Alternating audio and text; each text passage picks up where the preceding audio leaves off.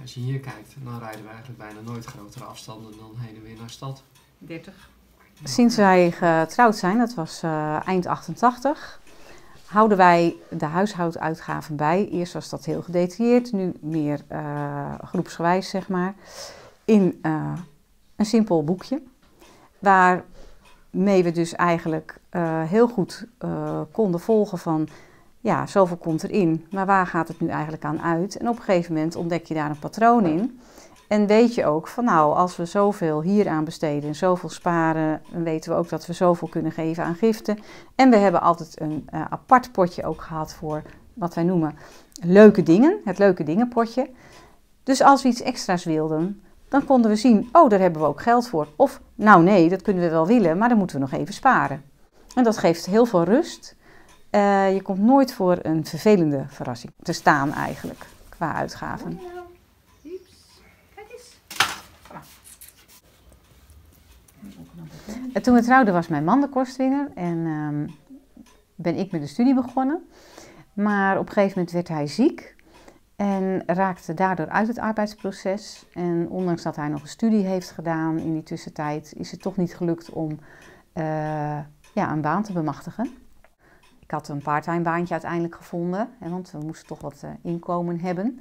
Toen hij ziek was erbij, als het even kon, want ik wilde toch mijn studie blijven betalen. Eh, dat parttime baantje, daarvan kreeg ik een aanbod. Wil je niet meer gaan werken? Was in het ziekenhuis. Eh, en wil je niet een opleiding gaan doen in het ziekenhuis? Dus toen ben ik dat gaan doen. Ja, toen kregen we het ook financieel weer wat makkelijker. Waar hebben we het uiteindelijk? Welk jaar heb jij dan? Van jongs af aan eh, was ik me al bewust dat eh, de bio-industrie toch echt niet goed kon zijn. Eh, God geeft ons een goede schepping, maar als wij dieren gaan fokken met als enig doel zo snel, zoveel mogelijk. Ja, dat stuitte mij al jong heel erg tegen de borst. Dus sindsdien at ik al veel minder vlees. En koos ik heel bewust voor biologische producten. Dat, is, dat wat je eet ook gewoon kwalitatief heel goed is. Ook al is dat in eerste instantie misschien duurder. Als je dan weer weinig vlees eet. Ja, dat- qua geld maakte dat dus eigenlijk niet zoveel uit. En dat is zo gebleven. En de belangrijkste producten eh, kiezen we voor biologisch. En als we vlees eten, ook zeker biologisch vlees. Ja. Dus ook nog. Er is ook nog eens. Dat was bijna te geven, jongen. Nou, dat was nou ook weer niet. Hè? We hebben het nooit heel moeilijk gehad. We moesten wel opletten, maar we wisten ook van we kunnen met dat bedrag kunnen we rondkomen.